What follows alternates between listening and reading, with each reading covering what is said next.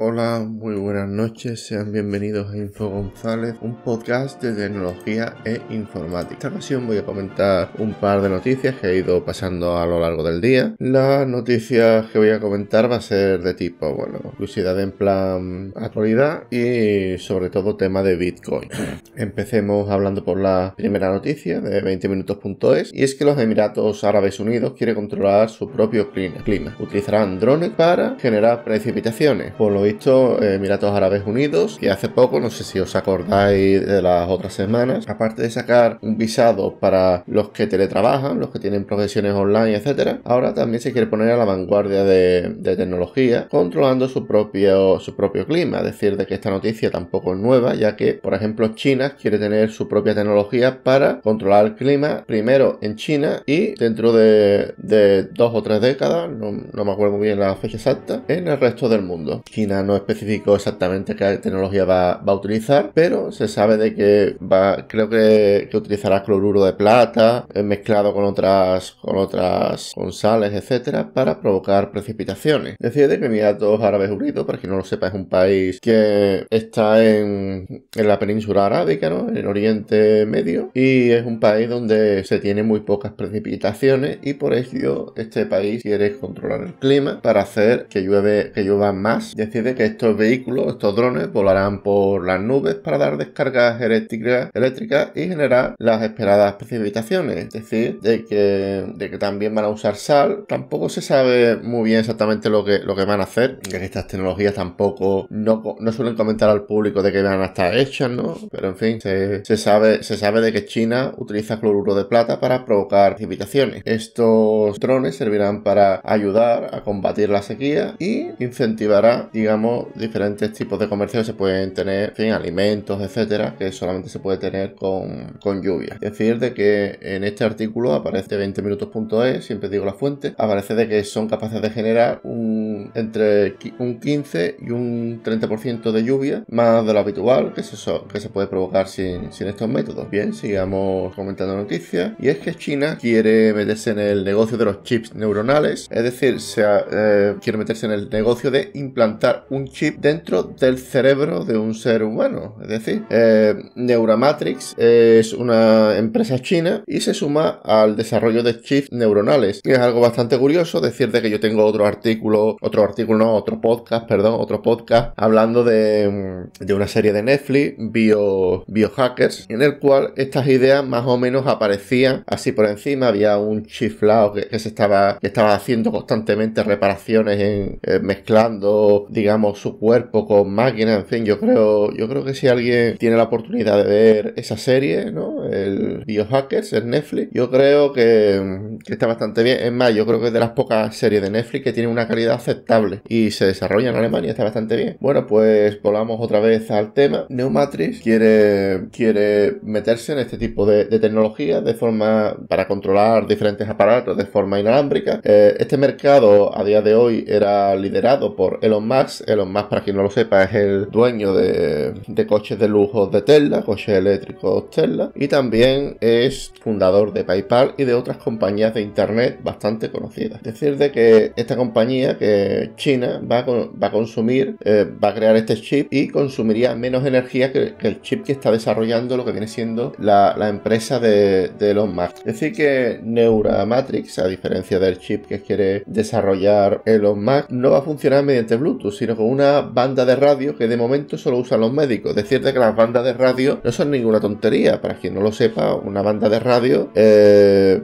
por ejemplo, las 4G, 5G, GPRS, Bluetooth, todas esas bandas que existen, no te creas tú de que eso lo puede, cualquier persona puede agarrar un aparato y transmitir en esa banda. Lo puede hacer, ¿no? Piratas, pero como te pillen, eso es una buena multa, eso es totalmente ilegal, ilegal e insano, porque digamos esas bandas eh, tienen mucho mucho, control estatal porque puede producir bastantes enfermedades, cánceres, etcétera. Y eh, eh, Neuramatrix quiere utilizar otra tecnología que no es Bluetooth, sino otra banda, otra banda de, radio diferente que solamente utiliza los médicos. Es decir, de que esta, este mercado, digamos, humano-máquina, ¿no? Cyborg, ¿no? Como aparecía en algunas series, ¿no? De, como por ejemplo eh, Metal Gear Solid, etcétera, ¿no? ese sueño de, de, hecho, Elon Musk dice de que, vamos, eh, me leí en su biografía hace tiempo, que Elon Musk estaba obsesionado con, con fusionar lo que viene siendo hombres con máquinas, porque Elon Musk piensa de que en un futuro las máquinas serán tan inteligentes y tendrán una cantidad de habilidades tal que, que nos reemplazarán como, como mano de obra. Entonces, Elon Musk, digamos, es un tío que piensa de que la única forma que la humanidad se salve es fusionando humanos con máquinas. Y nada, también este, este chip también es algo bastante polémico porque no se sabe si, si hay un chip que controla todos tus pensamientos, todas tus ideas, etcétera. Claro, eh, ahora mismo no pasa nada, pero ¿qué pasa si algún día algún gobierno o alguna persona intenta utilizar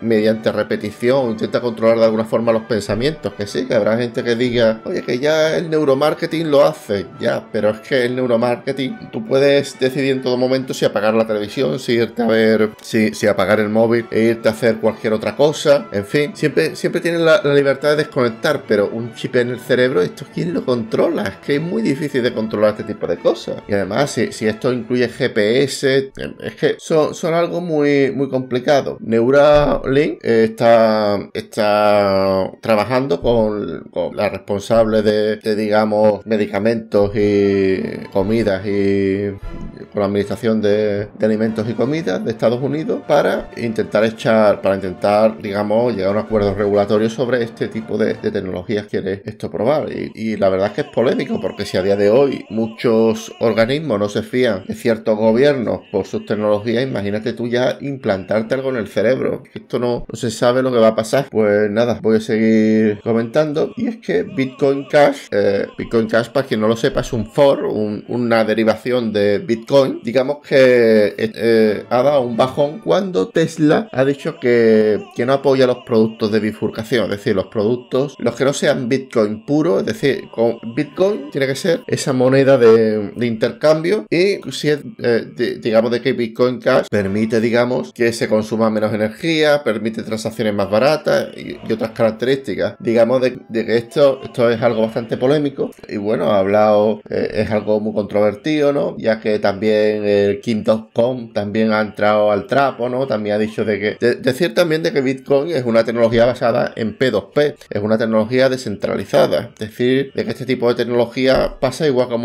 los P2P, es decir, tú a día de hoy te puedes descargar cualquier cliente eh, BitTorrent o cualquier o Emule o, Nutella o cualquiera de estos o Ares o, o cualquier tecnología de esta y prácticamente encuentras cualquier archivo a cuatro clics, pero claro, las regulaciones te puede, en fin, eh, ¿por qué no, no se utiliza ese tipo de temas? porque ya está prácticamente de moda, es decir, Bitcoin puede pasar igual, eh, King.com habla, habla acerca del Bitcoin como algo que puede pasar de moda, igual como ha pasado de moda el emule, igual como ha pasado de moda otro, otras tecnologías que todo el mundo conocemos, principalmente por las regulaciones, pero en fin, es que cerrar también un P2P es muy complicado, porque claro, ¿cómo controlas tú eh, que en todos los países, eh, en todos los países siempre va a haber alguna zona en el cual no entra la policía. Ahí, ahí puede haber cualquier cosa, incluso ordenadores funcionando, eh, compartiendo archivos, que es el menor de los problemas de un gobierno. O sea, es que ahí, en fin, eh, se arma una polémica respecto a esto. Y nada, yo abajo en la descripción voy a dejar los, los enlaces para que si alguien tiene curiosidad de, mirarlo, pues que lo mire. Bien, hoy, hoy el redactor jefe de finanzas de Yahoo, eh, Dai, Ray Dalario, Dalio, eh, perdón, Ray Dalio, dice de que hay una buena probabilidad de que se prohíba Bitcoin en Estados Unidos. También vuelvo a decir lo mismo, o sea, una red descentralizada es muy difícil. En todo caso, pasará de moda y los usuarios que, estén ahí en Bitcoin dejarán de usarlo y usarán otra moneda, pero es muy difícil de que, de que se prohíba. Eh, se prohíba mm, literal, eh, es muy difícil de que se para ese de cuajo. decirte que Ray Dalio, Dalio dice de que Estados Unidos podría prohibir el Bitcoin como hizo con el oro en los años 30. También hay, hay bastantes evidencias de que esto puede pasar. Yo creo de que en Estados Unidos a día de hoy también o es ilegal tener oro en tu casa, grandes cantidades cantidades de oro o tienes que pagar un impuesto extra. Algo de eso me, leí yo una vez hace tiempo en, un libro. No, me acuerdo, creo que en el inversor inteligente, no me acuerdo muy bien en qué libro era, pero era, era en uno actualizado. Era, era bastante curioso. Y en este otro artículo se especula si llegaremos a los 100.000K en el 2021. Es decir, si el Bitcoin va a valer 100.000 dólares, no, 100.000 euros, no 100.000 euros en el 2021. Es probable porque cada vez las transacciones son, son más caras en el sentido de que, de que la luz cuesta más cara, en el cual los microchips para crear Bitcoin van siendo cada vez más escasos, etcétera. Y esto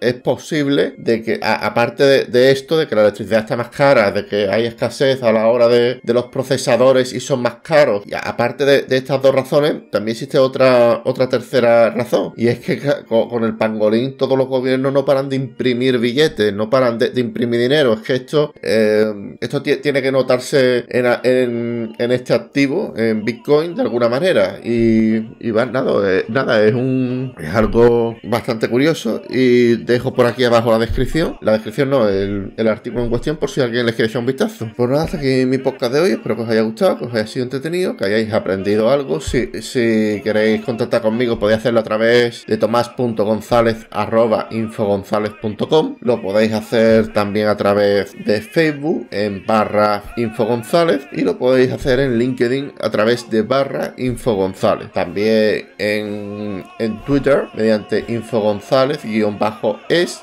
y sin más me despido. Un saludo y hasta la próxima. Chao.